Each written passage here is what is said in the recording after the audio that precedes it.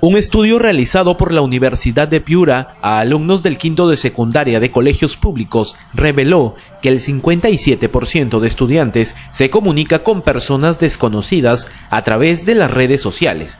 Así lo dio a conocer el doctor Fernando Guamán, experto en opinión pública, quien presentó este estudio a los padres de familia también, porque tenemos que más de la mitad de los estudiantes de los colegios públicos de la región están conectándose con personas que no conocen.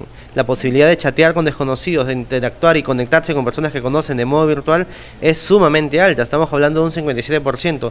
Y a esto le sumamos además que un 27% de estos alumnos estaría dispuesto a salir con desconocidos. El estudio también arrojó que el 27% de los adolescentes estarían dispuestos a salir con estos desconocidos mientras que el 25% podrían pactar una cita con alguien que jamás han visto en persona. Sin embargo, uno de los resultados más preocupantes que arroja esta investigación tiene que ver con el acoso del que son víctimas muchos escolares a través de las redes sociales.